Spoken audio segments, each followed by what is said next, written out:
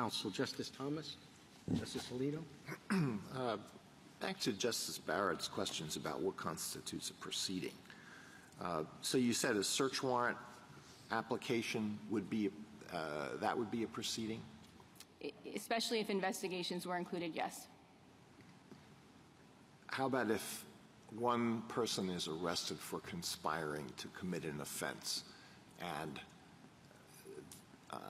other members of the conspiracy might subsequently be arrested? Would that arrest be a constitute a proceeding?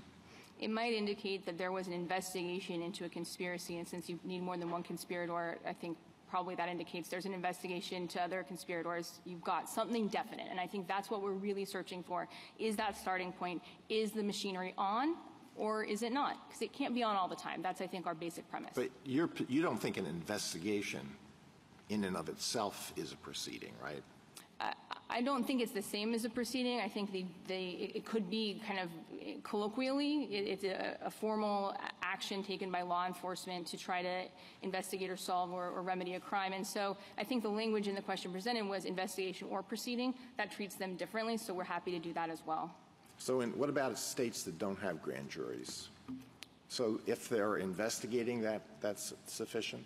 I think that would be um, fair, especially because if we're saying 1503 is really our heartland here, that's grand jury investigations are included there. If the state doesn't use that, they're still probably doing something perhaps similarly formal even to investigate crimes.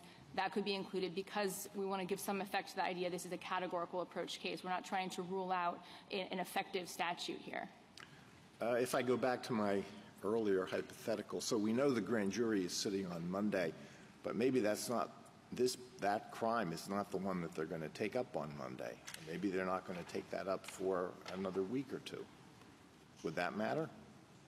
I think you would at least have a particular grand jury proceeding in mind, and if it had not quite started and the court wanted to include that, as the generic, which I don't think is the best um, the best reading, that would still require particularity. It might require reasonable foreseeability, and I think it would also bring in the nexus requirement, which is separate. And we haven't talked much about here today, but the court gave it a lot of effect in Aguilar, where of course there was a proceeding ongoing already, but the actions were not close enough, and so the time effect causation type analysis might also give some work to get us out of this anywhere, anytime, all possible justice standard that my friend proposes and to something that's more coherent and within, aligned with the historic core. All right, one last question. Suppose that Congress enacts a statute that prohibits threatening a witness with the specific intent to obstruct a future investigation or proceeding.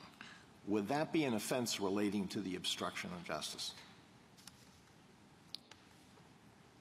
I think not under 43S, no even though it refers specifically to obstruction of justice in the text of the statute, that would not relate to the obstruction to obstruction of justice. Well, it might kind of colloquially, maybe under the sentencing guidelines, but I think when you're looking at a statute that was written in 1996 and trying to understand what state offenses fit within that based on what Congress understood those words to mean in 1996, this later affected more broad statute might not do that, no. Thank you.